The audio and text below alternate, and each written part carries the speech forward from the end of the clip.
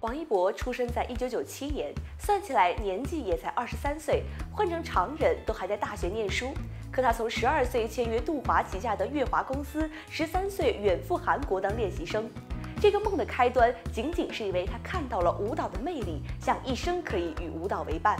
带着这个小小的梦想，开启了十年的追梦历程。我是一个追星的佛系少女，朋友们知道我喜欢他后，都说我见一个爱一个，看我能坚持多久。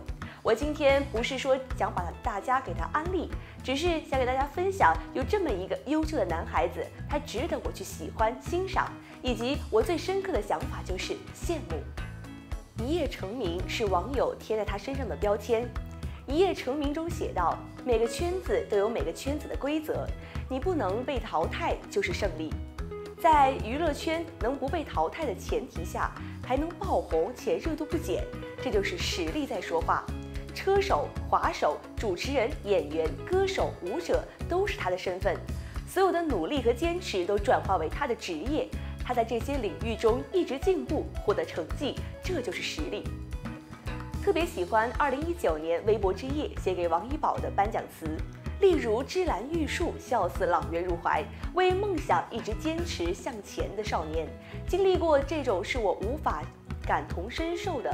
他从不对任何人说苦，保持着纯真的态度，真实通透的去看待这个世界。四亿少年坚定而强大，拥有着治愈笑容，成为粉丝的治疗神药。跨年的无感舞蹈，当时让我震撼的一点就是拽，太拽了，让我太羡慕了。那种拽是发自内心，但又不张扬。自信的少年让我只能竖起大拇指点赞。可是当晚同是主持人的王一博收起舞台上的王者之风，在幕后默默背词的时候，我又觉得格外的乖巧、认真、可爱。刚杀青的有匪，今日官宣的这就是街舞舞蹈导师，都在向外界透露着这个少年的不简单。演员和舞者的身份在切换中游刃有余。我对街舞的认知不高，只在观看《这就是街舞》第一季的时候被简单科普过。我从网上截了一位网友的分享，不妨看看为什么王一宝的舞蹈可以在内娱是顶尖水平。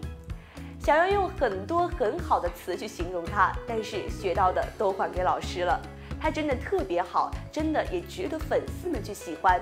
祝愿他一生平安喜乐，身边总会有他爱的和爱他的人陪他一路走下去。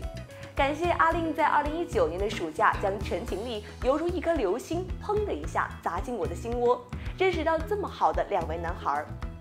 感谢让我收到双倍的快乐。青山不改，绿水长流，来日方长。我们不说再见。